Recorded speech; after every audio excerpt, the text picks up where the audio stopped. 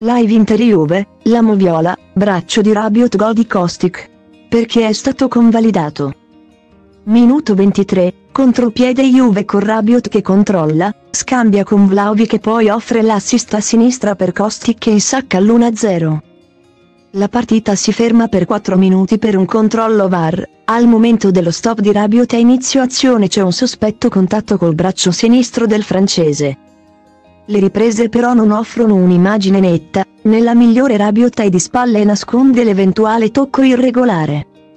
Un'immagine chiara c'è invece del braccio di Vlaovic poche frazioni di secondi dopo.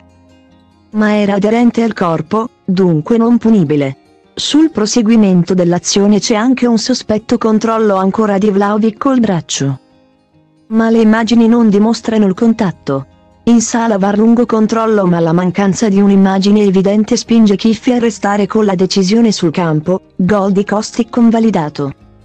Il derby d'Italia è da sempre una delle partite più sentite in calendario, anche sul piano delle polemiche e degli episodi.